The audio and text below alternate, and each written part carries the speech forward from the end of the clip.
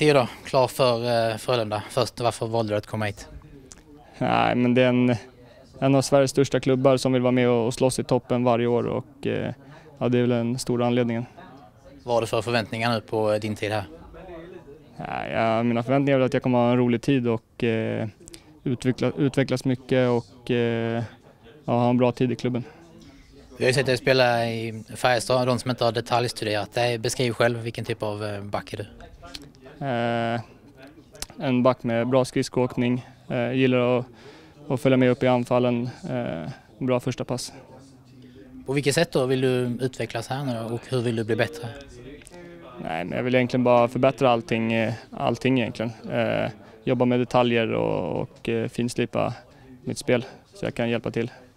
När man byter Färjestad mot Frölunda, får man lite gliringar då från polare och lagkamrater? Ja, det är, man har väl varit van med gliringar eh, hela karriären så det är inga problem, men det är självklart får man ju det. Välkommen hit. Tack så jättemycket.